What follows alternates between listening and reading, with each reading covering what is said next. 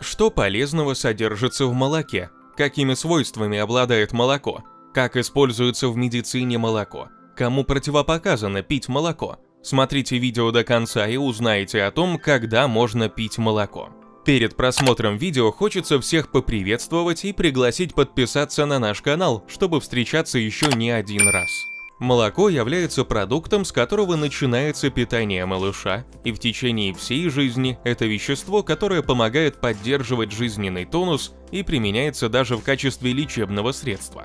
Однако не все люди одинаково хорошо переносят молочные продукты. У них не хватает фермента, расщепляющего молочный белок, поэтому возникает дискомфорт в животе, расстройство стула таком случае молоко и молочные продукты употреблять не стоит, чтобы не привести к развитию серьезной патологии желудочно-кишечного тракта. Для всех остальных молоко и молочные продукты полезны в любом возрасте. Что полезного содержится в молоке? Молоко – универсальный продукт, предназначенный для выкармливания потомства, поэтому он богат необходимыми для жизнедеятельности веществами – в молоке содержатся белки, причем они находятся в легко усваиваемой, доступной для быстрого расщепления форме.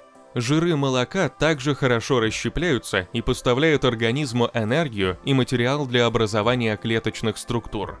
Среди витаминов высокая концентрация витаминов А, группы В и витамина D.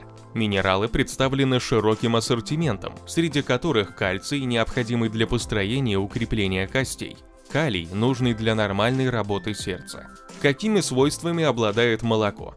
Имея полноценный по количеству и качеству нутриентов состав, молоко обладает следующими положительными качествами. Обогащает организм полезными и необходимыми веществами, способствует активации обмена веществ, что приводит к улучшению функции органов и систем, помогает справиться с бессонницей и способствует регенерации клеток обладает мягким мочегонным эффектом, постепенно удаляя лишнюю жидкость из организма. Стабилизирует состояние иммунной системы, улучшает состав микрофлоры кишечника, является средством профилактики остеопороза, позволяет упорядочить обмен жиров, что способствует нормализации веса, участвует в формировании мышечных волокон, способствует нормализации работы сердечно-сосудистой системы, регулирует артериальное давление – помогает наладить лактацию в послеродовом периоде у молодых мамочек. Молоко может использоваться не только как продукт питания, но и как лечебное средство. Как используется в медицине молоко? Многие молочные продукты являются продуктами диетического питания. Особенно это относится к обезжиренным кисломолочным продуктам. За счет натуральной, естественной ферментации они хорошо усваиваются, содержат необходимые для кишечника бактерии, создают среду для активизации резидентной микрофлоры. Творог в своем составе имеет необходимую для построения клеток печени аминокислоту, поэтому назначается дополнительно для пациентов, страдающих заболеваниями печени. Молоко имеет щелочную реакцию, поэтому нейтрализует излишки кислоты в желудке – помогает при изжоге и отрыжке. Молоко является сильным сорбентом, нейтрализующим и выводящим попавшие в организм токсины. Поэтому оно применяется для дезинтоксикации организма при отравлениях и в качестве профилактического средства при работе с ядовитыми веществами и при наличии вредных условий на рабочих местах. Теплое молоко с добавлением сливочного масла, боржоми или меда является сильным отхаркивающим и успокаивающим кашель средством. Оно применяется во время заболеваний, протекающих с поражением органов дыхания. Добавление молока в ванны, молочные маски способствует регенерации и очищению кожи, помогает при дерматологических проблемах, сухости и шелушении кожи. После процедуры с добавлением молока кожа становится гладкой и блестящей.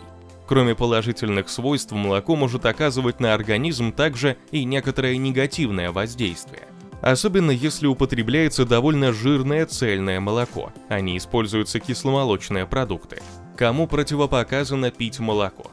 Кроме того, что молоко не стоит употреблять при недостаточности лактазы, фермента, расщепляющего молочный белок, молоко не стоит выпивать ежедневно в количестве более одного стакана, потому что возможно воздействие на гормональную систему как мужчин, так и женщин.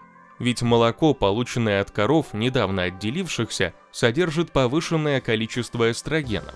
Употребление большого количества молочных продуктов может привести к появлению вздутия живота, запоров или диареи.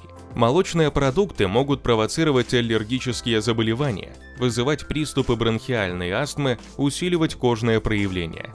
Таким образом, можно посоветовать следующее. Не употреблять большого количества молочных продуктов. Предпочтение отдавать обезжиренным, без добавок кисломолочным продуктам. Не употреблять молоко и молочные продукты при ферментативной недостаточности, особенно лактозы.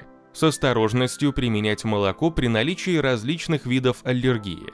Вопрос о том, употреблять или нет молочные продукты, каждый решает сам, и зависит это еще от вкусовых индивидуальных особенностей. Молоко – полезный продукт, но, как и во всем с особенным фанатизмом, его употреблять не стоит.